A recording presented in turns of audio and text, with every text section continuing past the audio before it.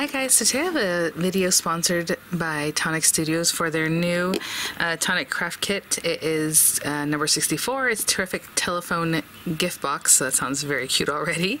So they did send these items free of charge for my review, and of course all opinions are my own, and any links I have in the description box will be affiliate links, which means I'll make a small commission if you purchase items to those links.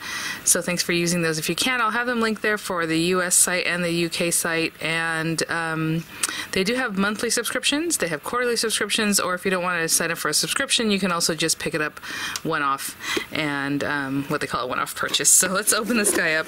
If you are a member, though, you will get 10% off the site when you place orders throughout the month. So um, using the code TCK, uh, I think on some sites it's already updated to just do it automatically. But let's get this guy open. So let me see if I can hold this guy. Let's see the meat and potatoes of the uh, craft kit, which we have um, a split packaging here of your dies. So here we have different square shapes, rectangles, and uh, what's going to make your terrific telephone, of course, gift box, different uh, decorative pieces. Looks like maybe a little, little closure there. And on this side, so generally this also comes with a little sticker that you can put on the front. Um, I get samples so mine look a little bit different than what you might receive at home. And just looking at the back really quick, look, it's like a Doctor Who telephone box uh, uh, kind of thing. Oh, that is so funny because I was like, oh, I thought it'd just be like a little telephone telephone, you know, but this is really cute. So that's going to hold plenty of things inside of there. Um, so again, we have just different uh, info here and the instructions on how to put together our uh, telephone. How cute. Oh my goodness. So we will get to that in just a second. Um, you see there's inlays, all kinds of fun things. It's a little stamp set with some like uh, florals with little um, flourish, you know, telephone well done, have a treat, and like a little crown. Lovely.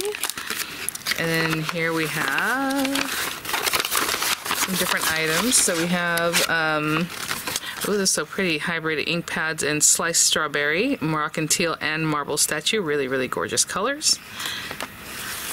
And then we have a ooh, crystal drops in uh, metallic. It's crystal drops metallic. It's what oh silver lining. I would say it should have a different name than just the metallic. So silver lining, super pretty and silvery as you can see there.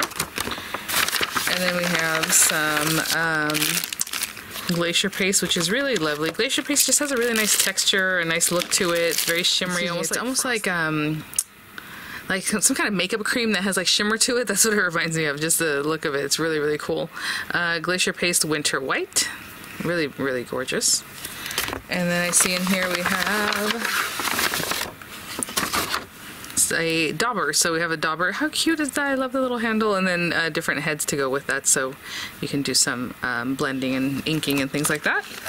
Really cool tool to have. And then here we have uh, the papers. Gorgeous.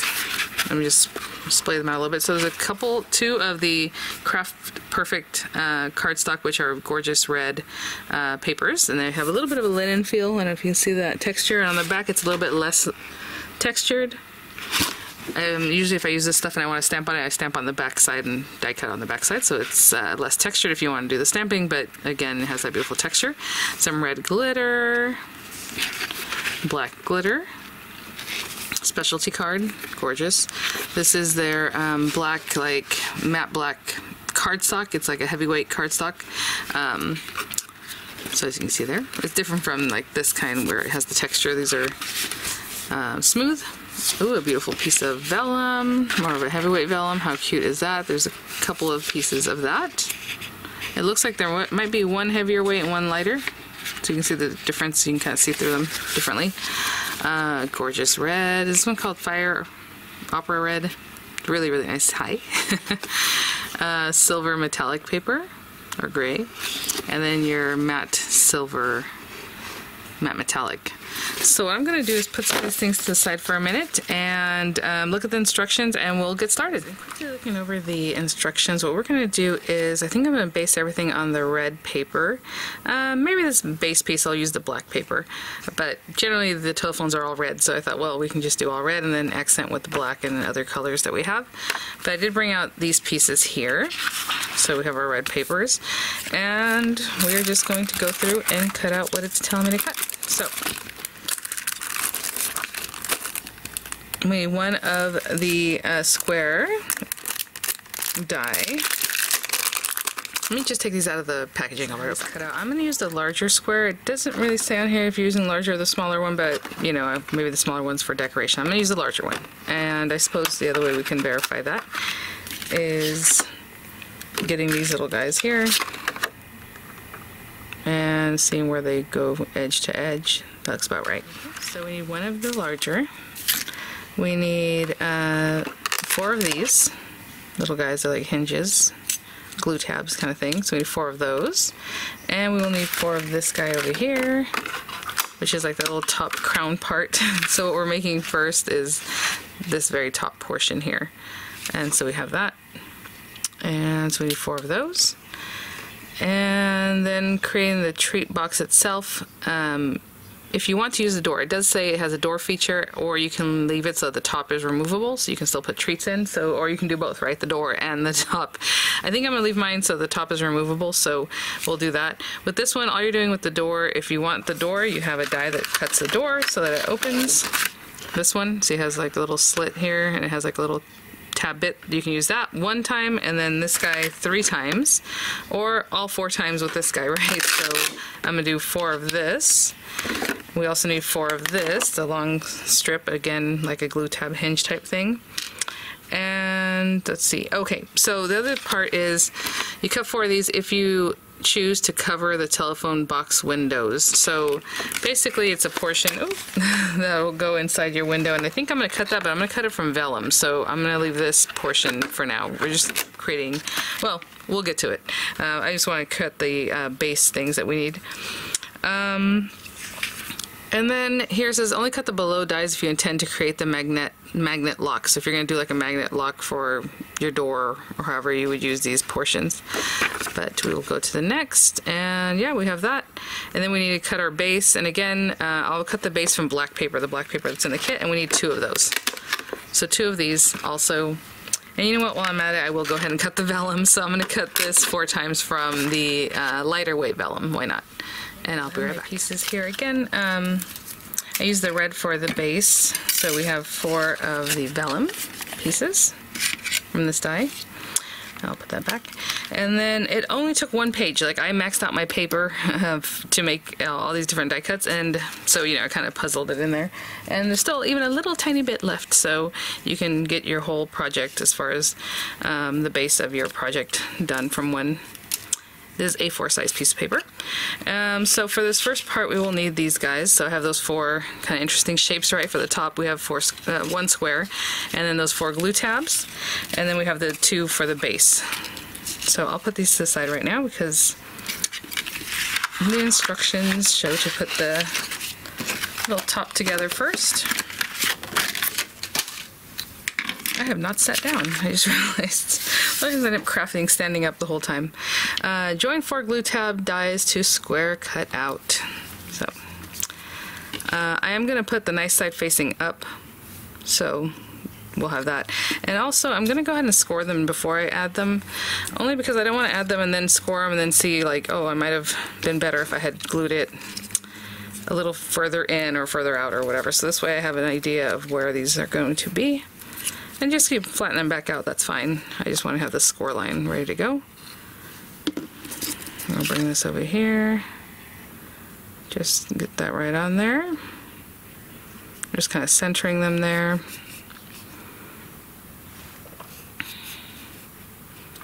And I'll go ahead and do all four. And then when we're done, this piece here is going to glue to those also. So I will be right back. Just go all the way around, gluing these glue tabs on. One, I'm just going around. They don't quite meet up, or at least um, the way I have them. There's like a little bit of a gap instead of just meeting exactly together. I'm just showing you that in case, you know, you're wondering or when you're working with it. And like I said, I think using the larger square is the right one because this is going to fit over on top of this one of those ways. So, and now we have this guy. And these guys, you're going to glue them to the glue tab and then to each other or each other and then put them on the glue tab. However it is that you want to do that. But what I'm going to do is put glue on here. And I'm trying to think what's better if I go this way first and then the glue tab. Glue tab first. Let's glue a couple of them together at least. And again, this is how I'm choosing to do it. You can do whatever works for you.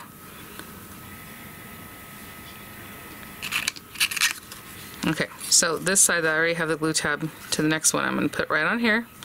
And I'm lining it up with the base of that glue tab. So it creates like a little recess up at the top here, right? You see how this is out and this is down to the bottom. Okay.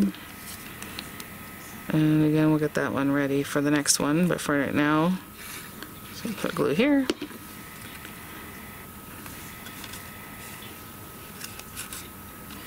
Yep, and just line that up. Because again, you're not going to be able to get the glue tab underneath, so you got to kind of, as you go, at least that's how I'm doing it. Put some glue there. This next guy going. Oh, and then our last one, you know what, I'm going to pull this away just a little bit so I can get that glue tab underneath. So I suppose you can make it into a little crown and then keep going from there. Like make a frame of these outer portions. And then glue them on. Glue tab. Glue tab. Making sure I'm lining up the bottom like I did at the beginning.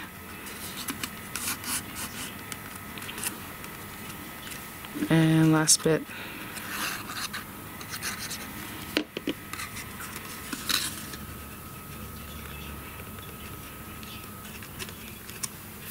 Cute. Okay.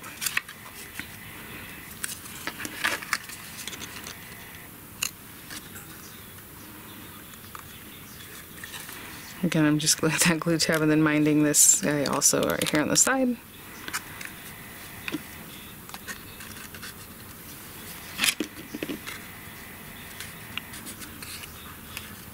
And just pushing that in. All right, so I'm just gonna hold this all and make sure it's nice and straight and all that, and I'll be right back. Okay, we have our little topper bit again. It has like a lip so it goes on top of the box, right? So you can see. So holds that there. And they're just showing a few things here. So really quickly, it looks like all in one step, but obviously we're gonna break this up a little bit. If you're using a door and you have a backer piece for it, you know, go for it. Um, basically, we're going to be bone folding these guys or scoring them bone fold, if you will, but they have one little glue tab. And then we need these guys, um, all four. So we need the four sides. If you're using a door, one door side and then three of the other. I do love that they include a die to just do the door. It's not like an inlay you have to use or anything like that. It's just, it's already ready to go if you want to use that one. And then I'm gonna score these guys because we have to get them ready. And basically we're just sticking these guys together. We are gonna stick them to the base. So the base they're showing here we'll talk about in just a minute. So let me score these. I'll also score the base pieces. So everything that needs to be scored will be scored when I come back. And these I am scoring towards the rough cut side so that the nice side is showing. And I'll be right back. Four glue tabs.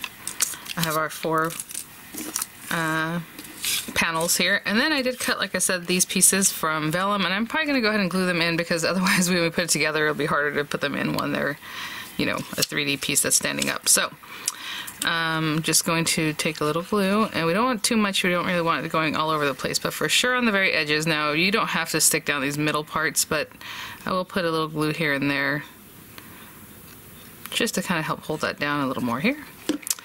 And we'll just pop that down on there. I kind of just eyeballed where the glue should be, but basically on the edge, right? And I'll do the same for all, all four panels. Let's finish this last one up. So it looks like that from the outside. So pretty. This is a very basic construction, guys. Um, what they're saying for the base is to just put glue on the short tabs, and you can see this tab goes from end to end, and then there's two short ones. So what you do, since these are exactly the same, is that you use one short tab to one long side. So if they're the same like this, I'm taking this one and I'm going to turn it, not so that the short ones are facing each other, but short tab to a long tab, short tab to a long tab. Does that make sense? So I'm going to put glue on the short tab, then adhere it to one of the long ones over here. you know, nice and um, centered. Okay, so right on there. Ah, moved a little bit on me. There we go. And you know, I always double check making sure it is centered. And you can see on this inside, looks like a little pizza box, that it's right at the edges there. Okay, so now we have another uh, short tab, but now it's on the opposite side, right? Because we're kind of mix and match or whatever you want to call it. Short to long tabs. And you know, I'll probably do these two at the same time since they're both going to kind of lock in here. And you know what? Might as well go ahead and put some glue on this one too, just in case. So the short tabs go to the inside of the longer tabs, right? And then this guy also goes to the inside. But again, we can just do this one separately. So I just put glue there just in case. So we have these guys here. Just looking side to side to make sure it looks nice.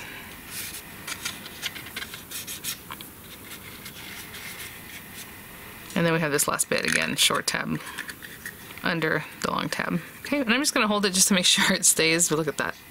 Pretty cool. Okay, so we're done with that base piece, and I'll just choose which area looks the nicest to face forward or up, you know, when we go to add our telephone booth here. And okay, so with these, all we're doing is gluing one glue tab to the next.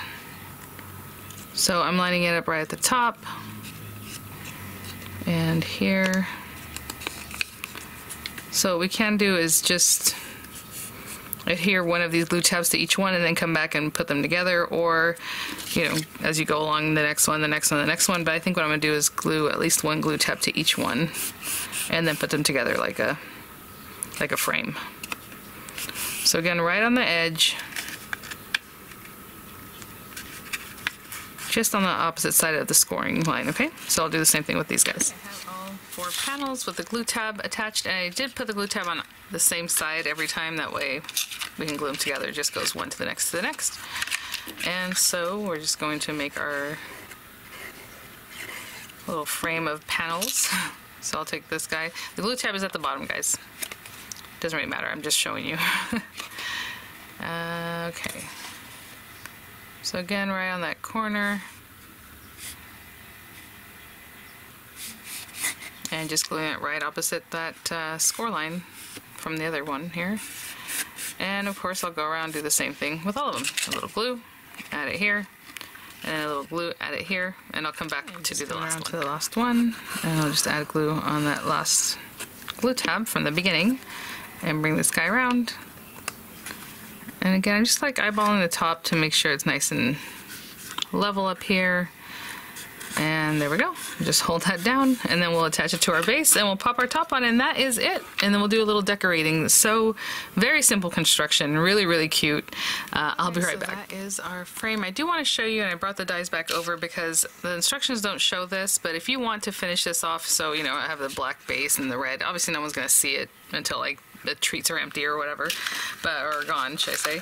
You do have the smaller square. You remember when we started off with the larger square that we used for this guy? You do have the smaller one that you can cut and then just pop it down in there or add it in, you know, here and then glue these guys to it. However it is you would want if you want to do that to finish it off. Um, you can also have uh, like a matte layer that you can drop in here.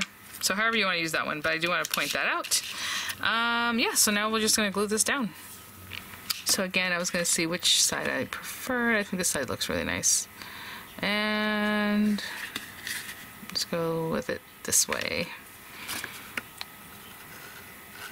It actually doesn't really matter because um, it, you know, you can turn it different ways as you're using it.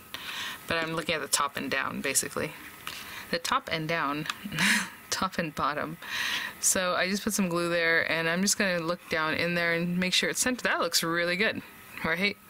Okay, so that is that. If you want to poke down in there with like a pencil or something to help you make sure that, you know, those are touching, that's great. And then again, you can pop in this square here. You see how it fits in there? And just push it down in there and cover that up if you like.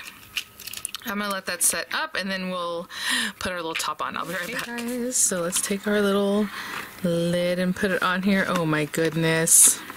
Such a nice fit. Super cute. So that is your basic construction. Now there's lots of ways to dress this up. You want to make it look more like literally like a phone booth. Um, sorry, when I said phone booth, I thought, did I say mailbox earlier? I hope I haven't been saying mailbox. Sorry, guys. If I have, it's a phone booth. Um, so anyhow, uh, we have the little word telephone here. We have this little strip. So like this guy is big enough to, you know, pop on there. And basically that's what it says. It just says like telephone and then it has like a crown. You can dress it up however you want. It's all the way around too. So people from all angles can see that it's a telephone uh, booth there. Um, so I think what I'll do is I'm going to cut this out of some silver paper and just decorate the front of this. You know, basic construction is just showing you some ideas. And then we have uh, these background pieces. And just to dress it up a little bit more, we also have this guy. You can also just cut out of some paper and, you know, use also. So what I think I'll do is black glitter on this one, the black glitter paper, just so it pops. I'm going to run this through the silver um, once to have the little strip that's going to say telephone. Then we'll run it back through with uh, this inlay. Well, it's not really an inlay. It's like a, well, it is an inlay, but it embosses the word telephone. You also have happy and then birthday and then just to say. So uh, different words that we'll cut into that strip. But for now, I'm going to run this through, like I said, get one of those four from Black Glitter. And then we have these little guys. So generally it's like gold colors, but the kit came with silver. So I think what I'm gonna do is cut this one out of silver and this accent piece out of some other color. Um, we will see, but I'll be right back. Okay. So I have um, a few different decorative pieces for all around. Um, I did cut this washer looking one because what I want is the middle piece to make like what would look like a little knob. Why not? Since we didn't do the latch on this one, we'll just make like a little faux doorknob. Uh, we have that piece there. And so I'll take this telephone inlay piece, or again, kind of like inlay, and just put it right there. And I'm just going to tape across here so it doesn't move. And I'm going to run this through just to get that the words embossed there, okay? And we have our little crown. I did go with the red glitter papers. Remember, there's a lot of specialty cardstock in this, so there's just a lot of fun ways to dress it up, metallics and all these different things. So I'll be right back. I just ran it through, nothing special. It's just that it didn't um, inlay with the die, so you have to run it through separately. But look how cute. Oh my gosh. So, all right, I'm just gonna put some of these things together before we finish up. So like the little crown piece, actually I'm gonna put a glue on the back of my hand. And I think that's the only thing that actually needs to be put together before we go on. And I just put little glittery red paper in the back so it looks cute. And I will make this the front of my project. This one here. So again, we can pop this up or just glue it straight down. I will put some glue and remove the excess because I don't want it to get warped or look funky. Sometimes glue will reactivate or um, warp your paper. So I'm gonna hold that down. I'll be right back. I'll just remove that actually. I am so sorry. I'm just thinking, I'm like, was I saying mailbox this whole time? I hope not. I am sorry if I did. Um, okay, so this was actually over here, wasn't it? All right, so then around these guys, I'm just gonna add this black glitter accent piece that I created there, the die.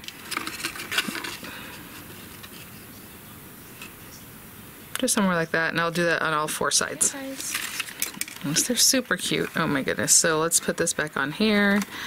And then here, I'm just going to put this down. Again, you can pop it up however much dimension you like. I'm just going to glue that down. Somewhere like right here. Just kind of seeing what's going on there about center. Something like that. Cute. And then I'll just stick this little door little knob like there. Okay, I'll be right back. little treat box. Let me tell you how deep and all those kinds of things. Um, from the very top, it looks like it's about four and a quarter inches tall and two and a half, almost two and a half inches wide. I would say two and three eighths. Can hold lots of treats. Um, look how cute. And again, you can decorate all four sides. I just uh, have this front part going and then a little decoration on the around the other sides. How adorable is that? Oh my goodness. Thank you so much, Tonic, for uh, sponsoring this video, for sending these items for review, guys. So again, this is the monthly kit. If you're signed up, this is what you will be receiving. And again, the one-off purchase, I'll have all those different links in the description box. I mean, super cute. And I mean, there's still stamps in here and all kinds of other fun things that we uh, didn't try out in this uh, particular project, but we have the tools and all those other fun things that came in there. I did want to show you really quickly. This is how I laid it out. So everything cut from one piece of paper. And like I said, there's still a little piece here left over. So as you can see, the four larger panels, this was kind of like this. And then these guys were all just kind of laid across here. So it all just worked out. All right, guys. Uh, thanks for watching. I'll see you at the next one. Bye now.